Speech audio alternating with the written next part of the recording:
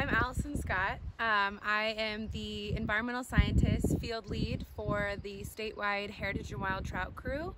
Um, we are at Pacific Creek right now. Um, it's on the western slope of the Eastern Sierras. Um, this is an LCT or Lahontan cutthroat trout uh, refuge population stream um, from a barrier downstream up through this meadow up through there.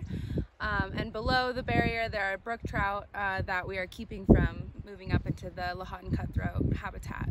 Today we are doing uh, visual encounter surveys for drought monitoring.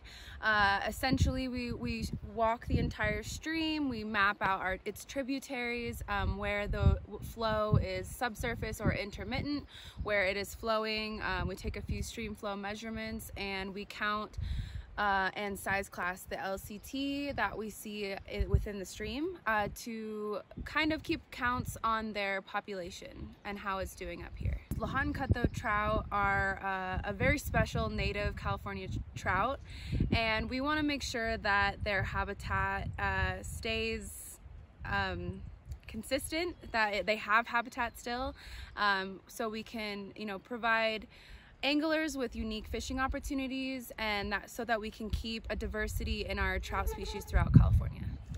Besides looking for fish, we are taking stream flow measurements and also pool max depths um, and, and water temperature to make sure that if uh, the drought did severely affect the stream or even uh, ice from like winter, if it froze over the stream, they would have refuge pools for them to survive in. So we're checking every fifth pool, we measure uh, the depth of the pool and the water temperature to see kind of if the habitat is suitable for severe drought conditions. So far our fish population numbers look pretty consistent with what I've seen in the last two years.